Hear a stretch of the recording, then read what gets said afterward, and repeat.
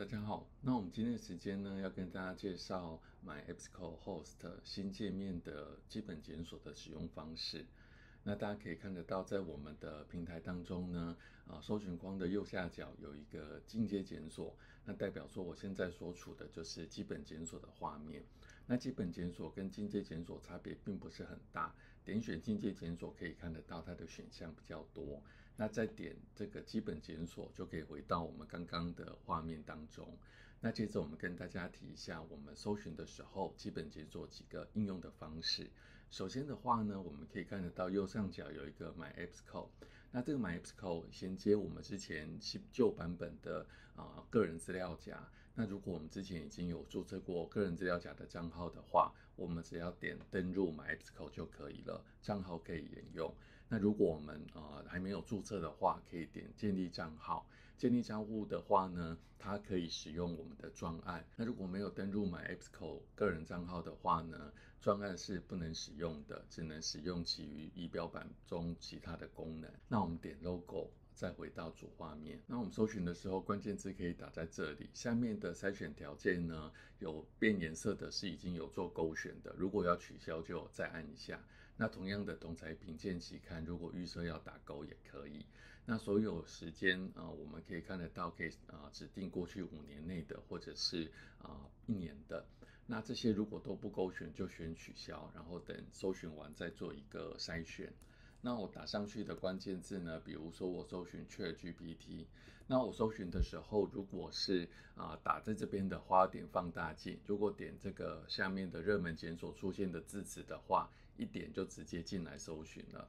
那这边有一个合取方块，那这边就是做啊复选的一个功能，所以我可以看得到在复选这里，我可以去勾选我要的文章，然后选取之后呢，我可以去啊下载或是加到书签，也就是储存在这里。那我们先来看一下下载。下载的话呢，你可以把这个资料呢存成这个呃不同的档案格式。那我们提醒大家，这样的下载不是下载全文，是下载中继资料，也就是 metadata。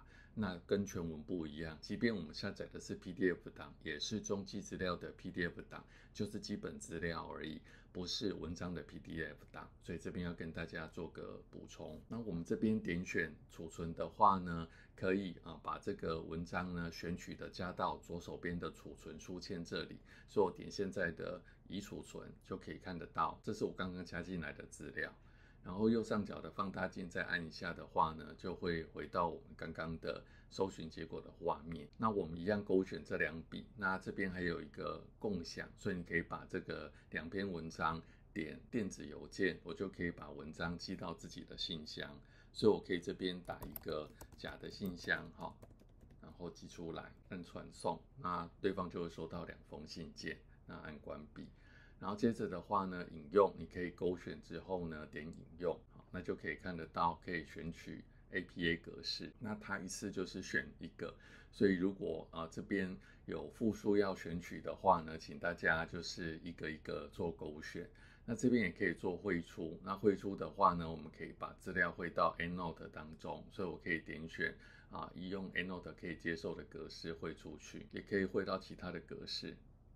那我选取这个免费的，那它必须要登录才能使用。那我可以选取引用，引用的话呢，这边的复制引文的话，它一次只能显示一笔的资料。所以我现在虽然勾选了两个，我一次只会显示一个。那我如果要汇出的话呢，这边的汇出引文就可以把我所勾选的汇出去，这样。那如果是从这边汇出去的话呢，就一次汇出我所勾选的资料。所以复制的话呢，一次就是一个。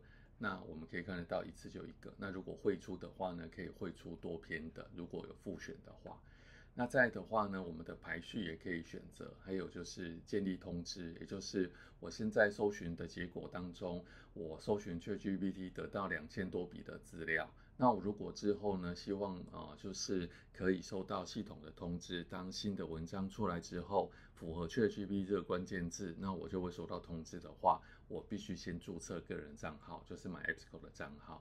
如果没有的话，是不能建立通知的。那如果有建立，那如果有设定好账号的话，我们就点选这三条线，就可以针对这个关键字设定通知。那我们再啊勾选全部就可以取消。那搜寻到的文章呢，可以看得到两千多篇。那如果我们有要筛选的话呢，可以点这个所有筛选。所有筛选的话，我们可以针对我们啊所要筛选的条件，比如说全文或者是出版的日期啊，五年内啊，那 ChatGPT 基本上都很新，不用特别选。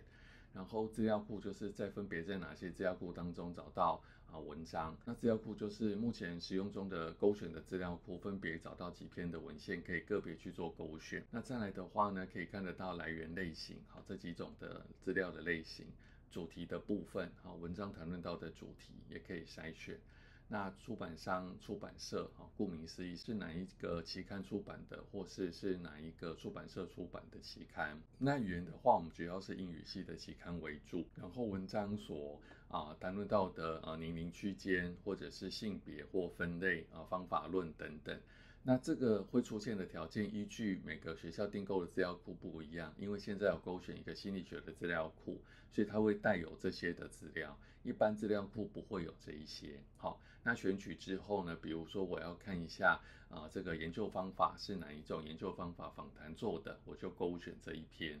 那如果其余的我也希望看一下，我就勾选按套用，它会帮我们把这三篇挑选出来。挑选出来之后呢，大家可以看一下文章的啊基本资料，然后点这个链接跟点这个详细资料都可以进到这个详细资料的页面。那在这个页面当中呢，它的功能啊一样会存在。好，那我们再回到上一页。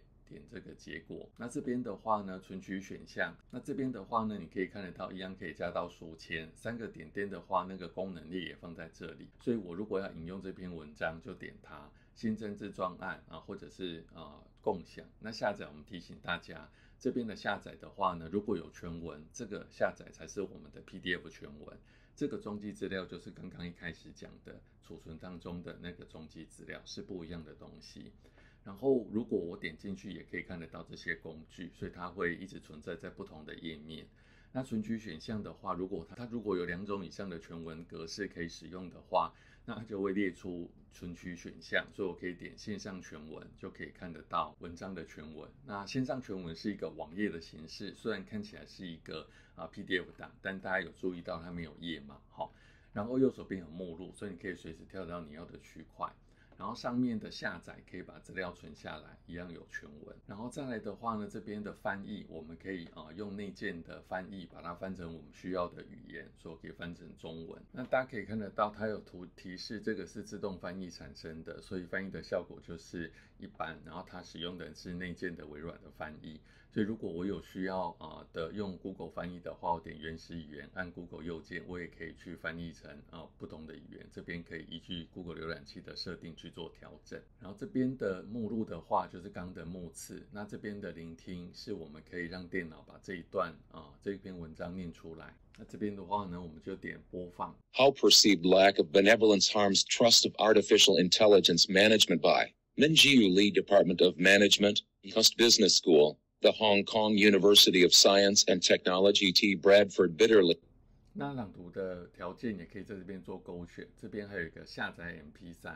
下载 MP3 就是把声音档存下来，所以如果我们要让啊，就是事后再听的话，可以啊点选下载 MP3，机器会帮我们把整篇文章都读完，存到 MP3 档。然后右手边的这个书签刚刚有加了，所以颜色不一样，这边也可以取消。然后引用啊，加到专案、绘出、列印这些功能，它就会一直出现在不同的页面当中。那我们再回到啊上一页，点这个返回。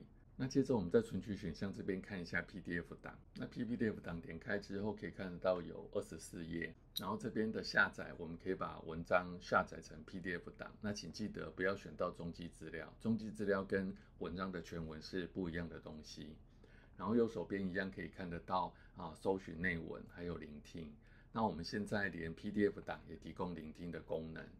那我们点播放。Journal of Applied Psychology: How Perceived Lack of Benevolence Harms Trust of Artificial Intelligence Management。好，那在以前的话呢，PDF 档它在我们的浏览器上不能朗读，那现在可以了。右手边的功能也一样，我们再点左手边的返回。那在这边的话呢，我们再跟大家提一下，因为呃这边是存取选项，所以代表你有多个呀选项可以选，就一个以上。那如果它没有的话，我们来看一下其他的条件。我们把这些勾选的条件呢都去掉看看，好，然后按套用。那可以看得到呢，如果它是只有一个全文格式的话，就会出现立即取得 PDF 档。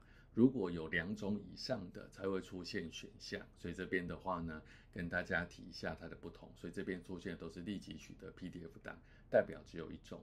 那我左手边这边呢，啊。那我下面这边点显示更多，好，可以看得到第二页，好，虽然它显示更多，那其余的都是啊 PDF 档。那如果有两个以上的，就会有我们讲的啊这个存取选项的字样出现。那有时候会有两个或三个更多，有的时候可能是一个连接。那再的话呢，我们在筛选的时候呢，这边的所有筛选可以看得到啊，我们可以勾选我们要的筛选的条件之外，那这边有一个啊条件值就是。